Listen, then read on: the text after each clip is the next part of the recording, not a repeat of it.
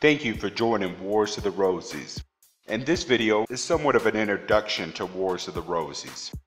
He who knows only his side of the case knows little of that. His reasons may be good, and no one may be able to refute them, but if he is equally unable to refute the reasons on the opposite side, if he does not so much as know what they are, he has no ground for preferring either opinion.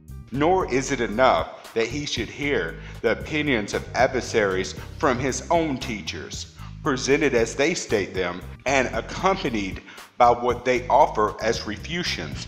He must be able to hear them from persons who actually believe them.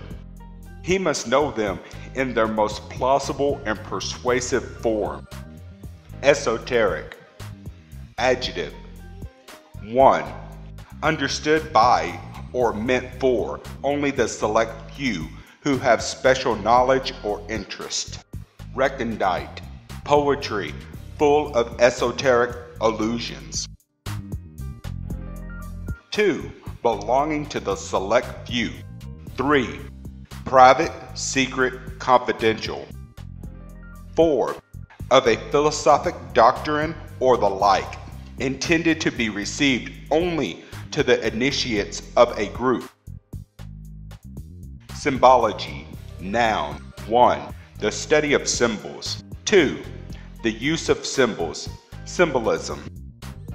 Still, the great spiritual truths are not so deeply concealed as might be supposed. Most of them are exposed to view at all times, but are not recognized because of their concealment in symbol and allegory. When the human race learns to read the language of symbolism, a great veil will fall from the eyes of men.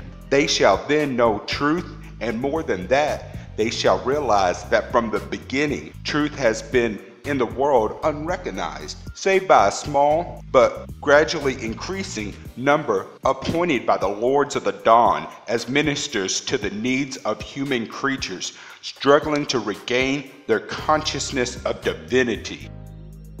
The rose is admired and adored by so many, often given to someone to say, Congratulations, I love you, job well done, show respect, courage, and passion. Christians have been known to say it represents the Virgin Mary.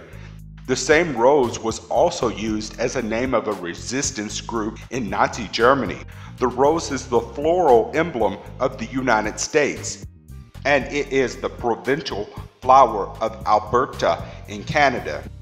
In Rome, it would be placed on the door of a room where secret or confidential matters were discussed. It was even the rebellion for Final Fantasy II. It has been used as the symbol of socialism or social democracy. It was considered sacred to Isis, her rose being the sweet rose of reason and virtue.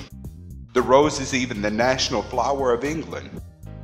Thank you for watching. Please don't forget to share, like, subscribe, and comment. And if you can, please consider giving a little to Patreon or PayPal in the links provided below.